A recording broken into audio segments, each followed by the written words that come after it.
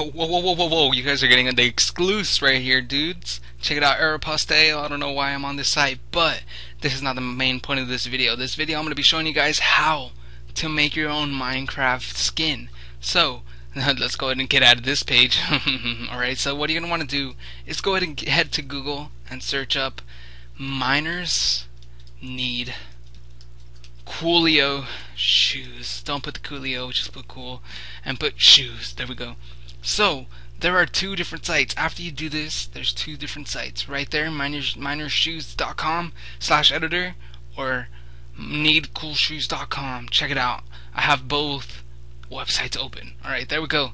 This is the, I already forgot what it's called, the home, like the need cool shoes um, editor. Here we go. You're going to go ahead and make your own character. Grab this spray, spray paint brush and you're going to go and make yourself a Steve looking character. Check it out the blue shirt.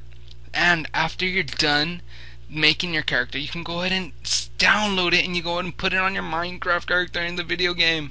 It's amazing. It's so cool that I've done it. You guys have seen my creation, but this is the exclusive because check it out. That's my new skin I'm working on. Oh, I kind of messed up on his face, but I guess it's this color. There we go. Perfect. But look, check out this exclusive. His hair is amazing. Just kidding. I'm not. I'm still working on it. Still working on it. This is the exclusive look at it. But check it out. The, here's the other site. The Miner Need Cool Shoes Armory. This is where you go to work on it. Both of them have different little interfaces. How you work and paint on your character. I like uh, this one better because it gives you like a full in-depth look at his face. It's so sexy. But right here, you're gonna go to just go like this and go and create your character.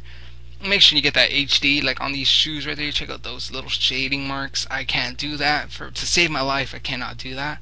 But if you guys, if this helped you make your guys' own character, but so wait up. When you when you go ahead and make your character, go ahead and hit the download button. Go ahead and hit the download button. Come on. Why won't it let me hit the download?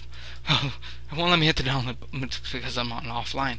Just kidding. Alright, so what we're gonna want to do after you do that, you're gonna want to hit this button, and you're gonna want to download the computer.